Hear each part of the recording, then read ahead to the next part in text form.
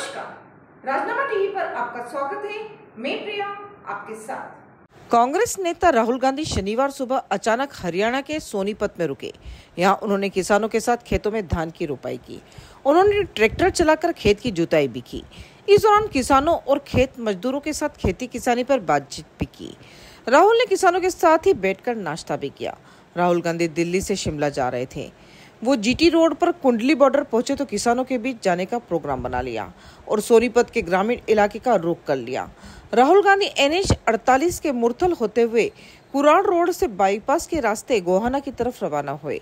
इसके बाद वे अपने रूट से हटकर करीब 50 किलोमीटर दूर बोरदा विधानसभा क्षेत्र के गाँव मदीना में सुबह करीब छह बजकर चालीस मिनट पर पहुँचे।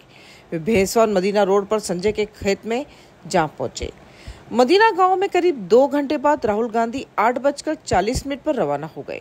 लौटते समय उन्होंने गोहाना पीडब्ल्यूटी रेस्ट हाउस में ड्रेस चेंज की। फिर सोनीपत से आगे रवाना हो गए। इसी के साथ बने रहिए राजनामा टीवी के साथ। धन्यवाद।